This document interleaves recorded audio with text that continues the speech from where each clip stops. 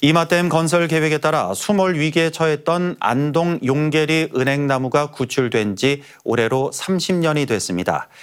수령 700살이 넘는 나무를 지키기 위해 당시 500톤 무게의 나무를 들어올려 다시 심는 대규모 공사까지 진행됐었는데요. 용계리 은행나무 구출 공사는 지금도 자연유산 보존의 상징 사례로 평가받고 있습니다. 김경철 기자입니다. 하천 한가운데 솟은 언덕 위로 노랗게 물든 거대한 은행나무가 자태를 뽐냅니다. 높이만 무려 37m, 둘레는 성인 8명이 모여야 안을 수 있는 14.5m나 됩니다.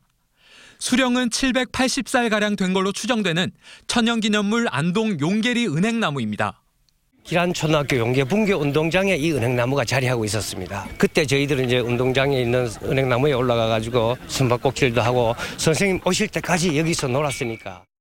그런데 39년 전 안동 임하댐 건설 계획에 따라 용계리 세개 마을이 수몰 대상지로 결정됐고 이 은행나무 역시 물속에 잠길 절체절명의 위기에 처했습니다.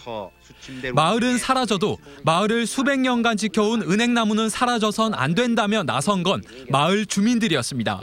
마을이 요 밑에 있다가 여기 은행나무 물에 담긴다 마음이 참 굉장히 섭섭했어요.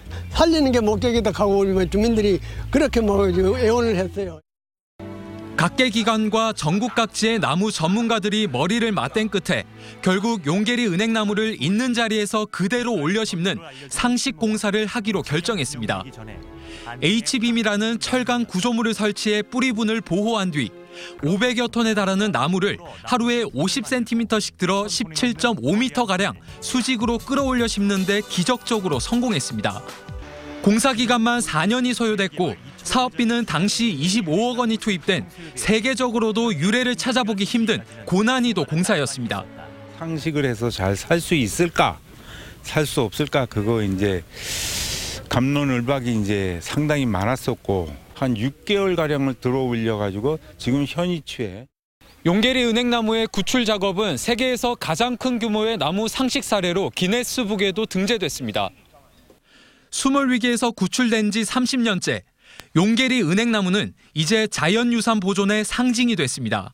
자연유산은 그 위, 자리에서 그 나무가 씨가 떨어져서 난 거기 때문에 앞으로도 우리 후손들이 같이 숨을 쉬면서 살아가야 될 가치라고 생각합니다. 안동시가 3년 전 용계리 은행나무에 대한 생육 상태를 정밀 측정한 결과 뿌리 발달 상태는 80% 정도 회복해 양호한 걸로 나타났습니다.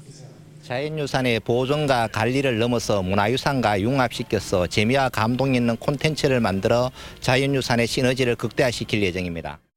안동시는 용계리 은행나무 주변 도로를 개설해 접근성을 높이고 노후화된 전시관도 세단장해 용계리 은행나무를 관광 명소화할 계획입니다. MBC 뉴스 김경철입니다.